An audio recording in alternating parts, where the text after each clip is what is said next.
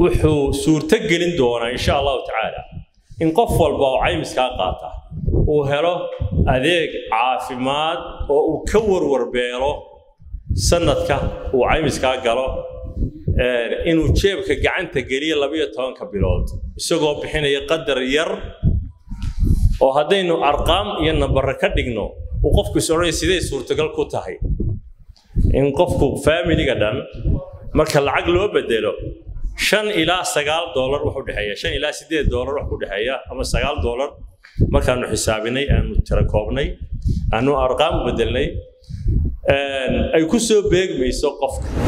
Shirkadda kaalinteedu waa wakiil. Waxay ka wakiil dadkii lacagta ay ka qaaday ay ku tidhi waxaan idiin soo helayaa dad idin daweeya. Mas'uuliyadda shirkadda saaran. Waxay soo kordhin doontaa. Wax aan u jiri jirin waa maxay? Waxaan horey u jiri jirin beeshanka iyo dhakhtarka cid uma dhexayn waxayna marar badan dhici jirtay in beeshanku cawdaan oo cid ay u cawdaan aanay garanayn laakiin maanta wixii ka dambeeya insha allahu tacala annagoo rajaynayaan dhakhaatiirta aan laga soo caban doonin waxay heli doonaan cid u dhaxaysa oo daba gasha inuu helay adeegiisii oo inuu raalli ka yahay adeeguu helay waraysata ayay mas'uuliyadda mas'uuliyadda aanu wakiilka ka nahay aanu qaadnay annagu maadaama aanu dadka lacag ka qaadayno oo aanu dhakhaatiir u doonayno in yaroo hordhaca baan ka horaysiinayaa inta aanan bilaabin adeegga iyo caymiska daafurkiisa aan maanta idinku yeedhnay. Oo runtii la xidhiidha un isku dayga iyo in wax la qaban karo in wax la qabto iyo sidaynu u farannahay oo ilaahayna inoo faray caqliga saliimkan inoo farayo ilaahay subxaana watacaala wuxuu kitaabkiisa inoogu sheegay in allaha bacda acuudu billahi min ashaytaan rajiim. In allaha laa yugayiru ma biqowmin xataa yugayiruu ma bianfusihim takmiiladda aayadda idaa araada allahu biqowmin suucan falaa muradda lah wamaa lahu min duunihi min waal. Marka intaa hore aayadda ina allaha laa yugayiru maa biqowmin xataa yugayiruu maa bianfusihim waa daliil cad aynaan oga baahnayn farsafad iyo aqoon kale isbeddelka ummaduhu iyo qofka iyo qoyska iyo cid walba oo doonaysa inay isbeddesho kama yimaado meel kale إن الله لا يغير ما إن الله لا يغير ما ما بقوم حتى يغيروا ما بأنفسهم isbeddelku wuxuu ka yimaada dadka laftooda marka duruufaha iyo dhibaatooyinka aynu habeen iyo maalin ka cabanno oo ugu horeeyo caafimaadka iyo dhaqaalaha iyo dhibaatooyinka ayna haysta waxay ku imanayaan isbeddel innaga aynu la nimi kuma imanayo xaflado iyo shirar ama hay'ado ajanabiga noo qabteen ama war meel kale laga sheegay ama dal qurux badan aynu soo aragno oo intaynu degnay iska jeclaanay oo haddana iska soo noqotay dalkaagiyo sidiisii ah ku iman maayo. Aayad kale oo munaasabadan ku munaasib ah waxaa ilaahay nagu faray subxaanahu wa tacaala watacaawanuu cala albiri waltaqwa walaa tacaawanuu cala alismi walcudwaan shirkan caawa aan isugu nimi iyo kulankan iyo munaasabadan oo ku isman oo ku magacaaban ma ah daahfurka caymiska caafimaadka. Dad badan dhegahooda waxa laga yaaba inaanay dhaqso u dhadhansan ama aanu macnuhu ugu dhicin. Wuxuu ku saabsan yahay iskaashi.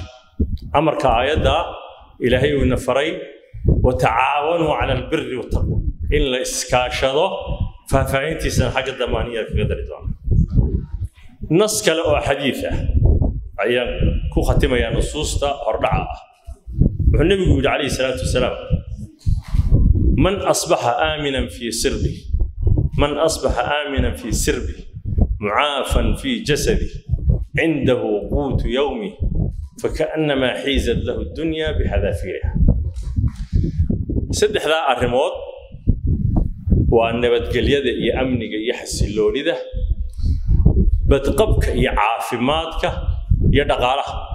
Eegada dhaqaalihii waxaa laga horreysiiyey caafimaadka. Qof caafimaad qabaa iyo bulsho caafimaad qabta ayaa production iyo wax soo saar la iman karta. Bulsho bugta oo xanuunsanaysa waxba ma soo saari karto. Xitaa qofka bini aadanka ah saacadaha iyo maalmaha uu buko way ka go'an tahay wax soo saarkiisa iyo productionkiisa marka wuxuu ka horreysiiyey nebigu calayhi salatu salaam caafimaadku ka horreysiiyey dhaqaalihii saddexdaa qodob. Markaan intaa kaga gudbo caymiska guud ahaan in yar oo dulmar ah haddaan ka idhaaho caymisku waa laba nooc. Nooc ay culimmadu ku tilmaantay inaanu bannaanayn oo mucaamaladiisu ay ku dhex jirto qarar ama khiyaano iyo qish oo qofka xuquuqdiisii ah isagoon helin aan waxba uga soo noqonaynin. Iyo mid tacaawuni ah oo bannaan oo culimmadu isku raacsan yihiin zamankan iyo casrigan inuu yahay caymis bannaan oo ku salaysan aayaddaa horeynu sheegay. Waxaynu qaadannay oo xeerkeenna maanta labada xeeree baarlamaanka guurtida somalilandba ay ansixiyeen iyo wakiiladuba oo madaxweynuhu seexay dhaqangal gashay laba xeer oo labaduba ku salaysan caymiska shareecada islaamka oo goshahay ee loo yaqaano caymiska tacaawuniga. Intaa kadib waxaa laga yaabaa inaad isweydiinaysaan ama qof walba isweydiiyo. Muxuu yahay caymiska caafimaadku muxuu ka faa'iidayaa qofka qaata? Maxaan bixinaya maxaan helaya muxuu ka beddelayaa duruufteenna caafimaad ee habeen iyo maalin aynu cabanayno dhibaatadayna haysataa aynu dibadaha ugu dhoofno waxba ka qabanaya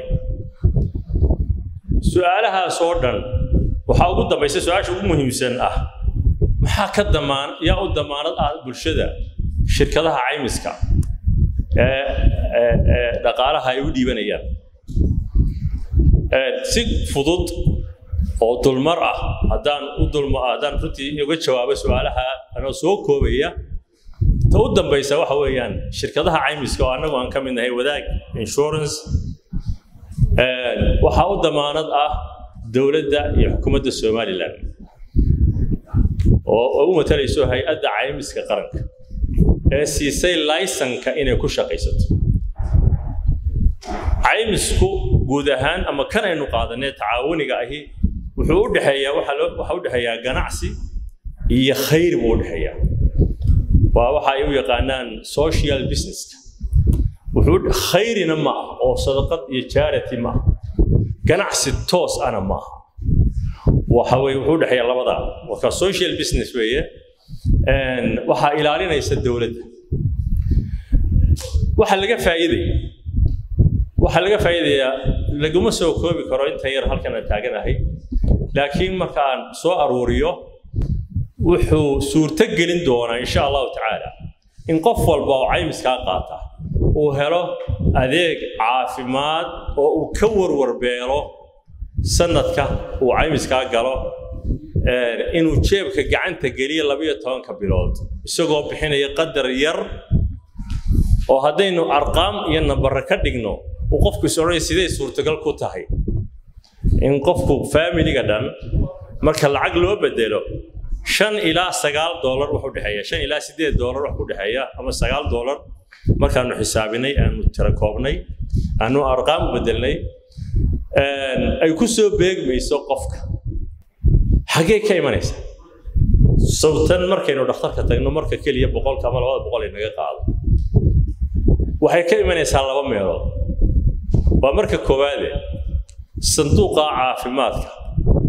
Marka ay bulshadu qaadato iska daa bulshada oo dhane waxaa noo taarget ah one percent boqolkii hal ama laba. Boqolkii mid keliya haddee one percent hadday qaataan. Waxaanu ku qiyaasnay lix kun oo qoys. Lixdaa kun ee qoys ugu yaraan waa lacag afar milyan oo dollar ku dhow dhakhaatiirta heshiiskan nala qaata. Way ka nasanayaan inay beeshankooda weydiiyaan fii si hagar la'aana oo isagiiyo beeshankiisa keliya ay ka wada hadlayaan daweynta qura ayuu ku shaqaynaya waxay kaloo ku suurtogelaysaa oo aan halkan mahadnaq hordhaca uga soo jeedinaya. Dhakhaatiirta inta aanu gaadhnay iyo inta aanu ku soconno ee nala fahamtay mashruucani inuu isbeddel dhaba ku keeni doono adeegeenna caafimaadka.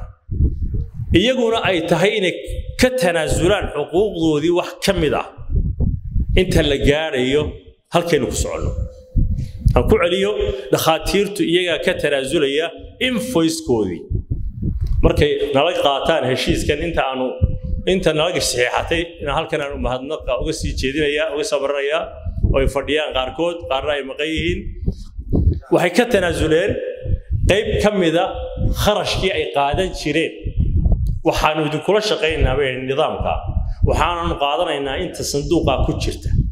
Labiyo tobanka bilood bil walba waxa ku jira ayuunbaa dadka lagu daweynayaa. Dadkii beeshinka ahaa ama dadkii inshurankaa galaynaa. Marnaba insha allahu tacaala la odhan maayo sanduuqiina wuu idinka dhammaaday bisha koowaad ilaa bisha disembar qaybtii uu lahaa bil walba wuu ugu sii jiraya dadku waxay bixinayaan qadar yar. Waxaana helayaan adeegyo intii caafimaadku lahayd hadday tahay bukaan socodkii intuu yimaado gurigiisa ku noqonayay qofkii la jiifinayey shaybaarkii laga qaadayay oo dhan dhammaystiran umushii hooyada. Waxaanu samayn doonaa adeegyo dheeraada oo in guryaha loogu tago qofka aan iman karin insha allahu tacaala mas'uuliyadda sida culimmadu ku sheegtay horta masaladani waa masale fiqiya bay noqotay. Oo markii fuqahadu ay eegeen waxay u fasileen oo u sameeyeen masaa'il fiqi oo dhan. Shirkadda kaalinteedu waa wakiil. Waxay ka wakiil dadkii lacagta ay ka qaaday ay ku tidhi waxaan idiin soo helayaa dad idin daweeya. Mas'uuliyadda shirkadda saaran waxay soo kordhin doontaa wax aan u jiri jirin. Waa maxay waxaan horey u jiri jirin beeshanka iyo dhakhtarka cid uma dhexayn waxaana marar badan dhici jirtay in beeshanku cawdaan oo cid ay u cawdaan aanay garanayn laakiin maanta wixii ka dambeeya insha allahu tacala annagoo rajaynayaan dhakhaatiirta aan laga soo caban doonin waxay heli doonaan cid u dhaxaysa oo daba gasha inuu helay adeegiisii oo inuu raalli ka yahay adeeguu helay waraysata ayay mas'uuliyadda mas'uuliyadda aanu wakiilka ka nahay aanu qaadnay annagu maadaama aanu dadka lacag ka qaadayno oo aanu dhakhaatiir u doonayno. Shirkaddu maxay leedahay? Shirkaddu waxay leedahay khidmad keliya. Lacagta waxa iskale dadka. Inta lagu daweeyo haddii dheeraad ka soo hadho waxay culimmadu isku raacsan yihiin in dadkii lahaa loo celiyo. Yaa ilaalinayo ka mas'uula. Saan hore u sheegay dowladdaa ka mas'uula. Dowladda mas'uuliyaddeeda weeye inay sanduuqa ilaaliso oo annaga ay nagu kor joogtayso. Waxaan ku soo koobayaa hadalkaasi wuxuu ahaa duulmar. Xikmad carabiya baa waxay tidhaahaa alcaqlu saliim fi ljism saliim caymiska waddanka iminka insha allah lagu hergelin doono wuu farabadan yahay gaadiidka badda alaabta guryaha dabka waxaasoo dhan buu leeyahay. Maxaanu u soo hormarinaa caymiska caafimaadka? Caafimaadku waa waxa qof walba u baahan yahay. Ee xilli walba loo baahan yahay gu iyo jiilaan col iyo nabad miy iyo magaalo saqiir iyo kabiir qof walba u baahan yahay waxaan jeclahay inay dhakhaatiirtu ka hadashee duruufaha caafimaadkaynu ka cabanno lama soo koobi karo. Dhaqaalahay nagaga baxa inaynu dibadda ugu baxnaana xaddi ma laha.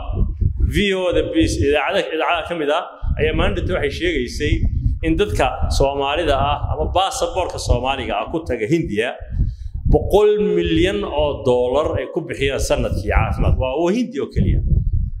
Waxaa la mida oo ka badan waddankan ethoobia waddamada kalena waa farabaday waxaan kaga baxayaa ku soo koobayaa walaalayaal.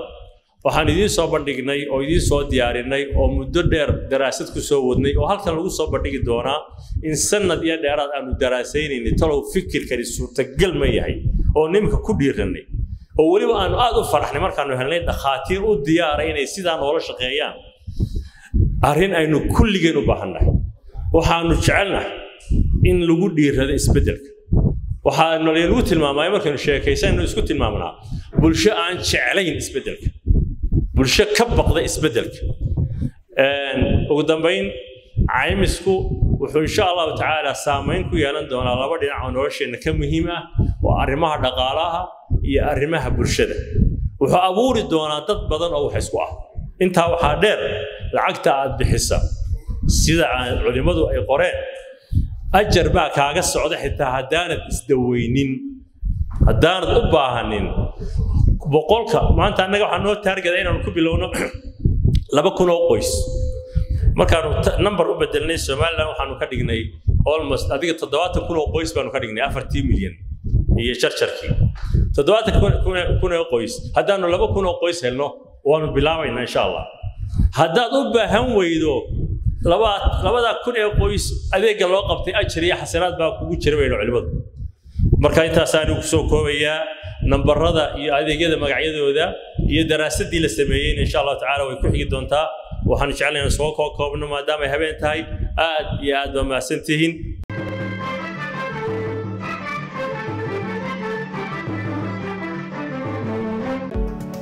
waafi app waa application casri ah oo kaa qabtiraya adeegyada maaliyadeed sida saad sahal efc balas xawaalad taaj bangiga iyo adeega isgaarsiinta oo kuu suurtagelinaya inaad soomaaliya qiimo jaba ku soo wici kartid waafi app kala soo deg app storeka ama balistoreka waafi isku xidhaha qaranjoogta iyo qurbanjoogta